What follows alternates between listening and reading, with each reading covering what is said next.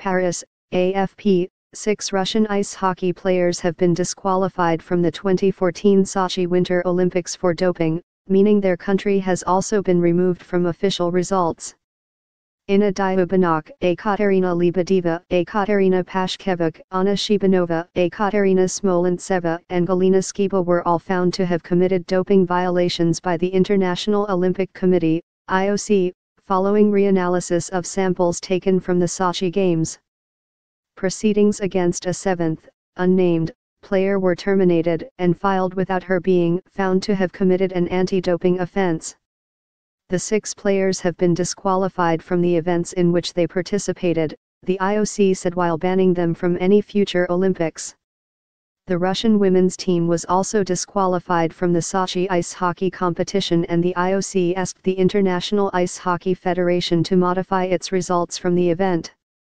The Russian women's team originally finished sixth. Reanalysis of tests from Sochi have seen Russia lose 11 medals from the Games and subsequently been replaced by Norway at the top of the medals table. Russia has been accused of state-sponsored doping of its athletes, reaching its zenith in Sochi. Last week the IOC decided to ban Russia from next year's 2018 Winter Olympics in Pyeongchang, South Korea, although individual athletes who prove to be clean can compete under a neutral flag. The country also received a partial ban at last year's Rio Summer Olympics after the original state-sponsored doping scandal was revealed following a World Anti-Doping Agency commissioned McLaren report found there had been government manipulation in the analysis of Russian doping samples.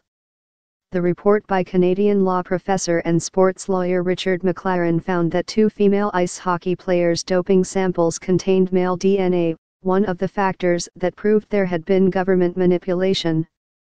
Last week, the IOC banned for life Russian Deputy Prime Minister Vitaly Mutko, who was the Russian sports minister during the Sochi Games.